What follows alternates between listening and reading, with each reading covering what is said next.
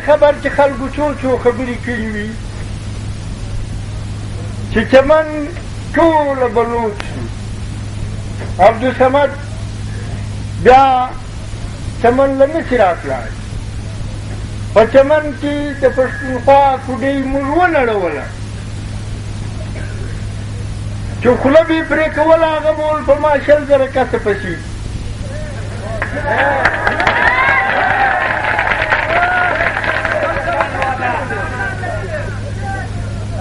او ورونو دا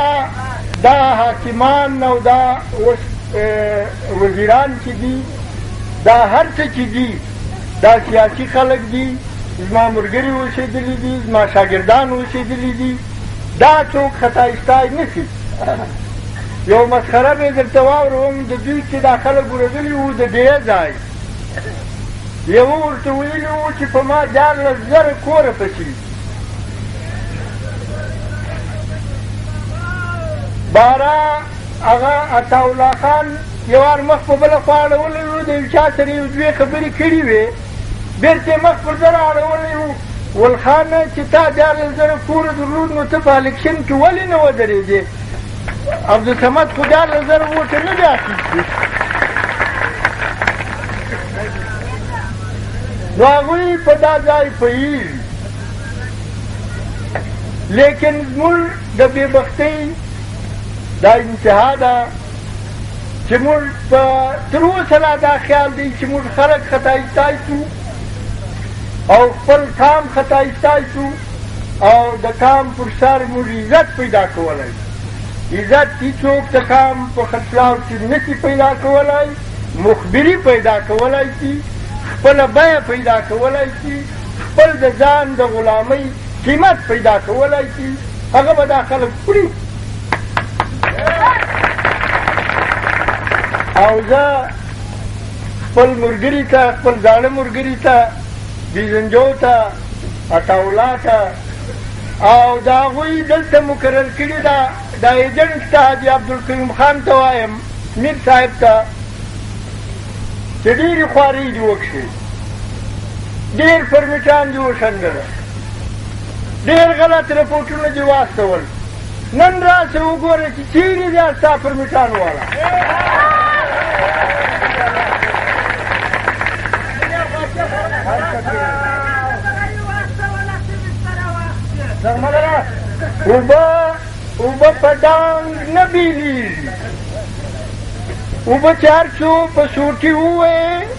لا پر لګډیږي بیلیږي نه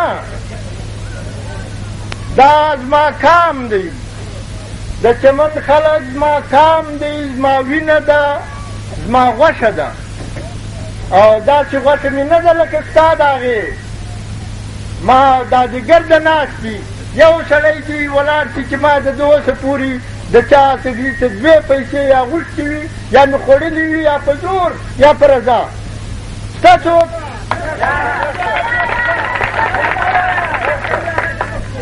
که ګرد د دنیا وشړي که د دنیا جهان پر میټان ورکړي له ما زما کام نه سي شلولی ولې ما یې خدمت کړی دی چې مې ځینې غوښتي نه دي د غوښتنګ زما یو دربار دی هغه د خدای دربار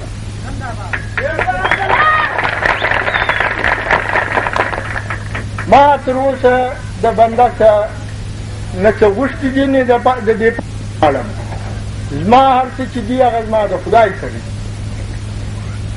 نو بیزنجو صاحب عطاالله صاحب که دلته څوک فرشته ورشته وي لیکلو والا دا ولیکي دا ولیکي دا ورورسوي